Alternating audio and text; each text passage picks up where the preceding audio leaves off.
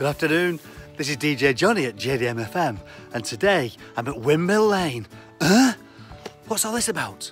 Well, I'm actually at Penketh and Sankey continuing my little videos of the area. Let's go and investigate all about the windmill.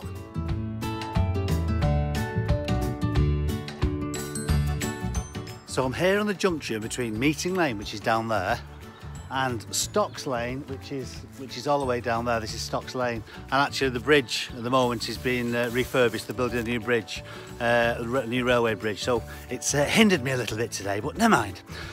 This is where the windmill used to be. The windmill was behind me in the cottages, uh, just uh, just there. You can see the cottages just over there. Uh,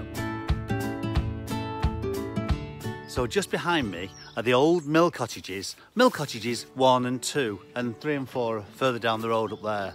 Now it's these two cottages, at the back of these cottages, where I believe there was a huge mill. But it's all gone now. I wonder what this windmill used to look like.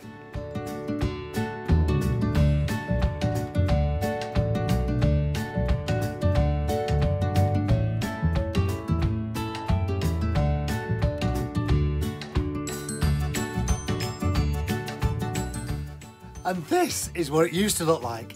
It was enormous. So big, I can't even get it on my screen. Deary me. We'll be able to see the other pictures in a few minutes. Deary me. This mill was probably, uh, I don't know, when you look at it, you look at that, uh, the small mill cottage at the bottom there, and uh, you look at the, the overall height, including the sails, it was probably five double-decker buses, if not more. Probably about 70 foot. Jeepers! So high! It must have dominated the whole area of Penketh. Of course, the area then was covered in fields with grain and crops, which all came to this windmill to be ground down for, for flour, etc. It must have been a huge concern. The whole village must have been involved in it. There's even four mill houses. Uh, one, uh, mill house one, two, three and four. This will be uh, the cottages one and two, uh, where the mill actually is, and the others are just up the road a little bit. The funny thing is that this mill never originated here. It came from Gateacre near Liverpool originally and they transported it in the, I don't know, probably early 1700s to Penketh piece by piece and rebuilt it here.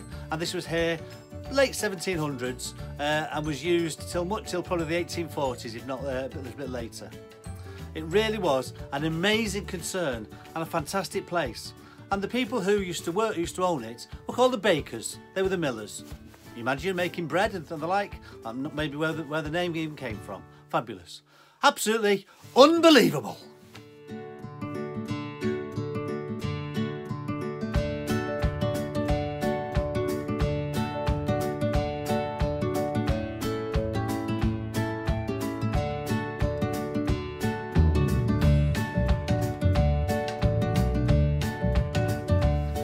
So I'm here at the Mill Cottages. These are beautiful little cottages. They were built in 1798, long time ago.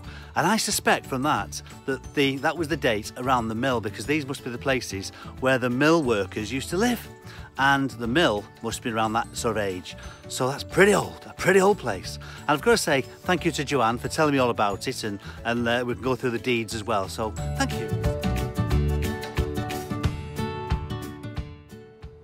And this square stone is one of the stones from the windmill itself.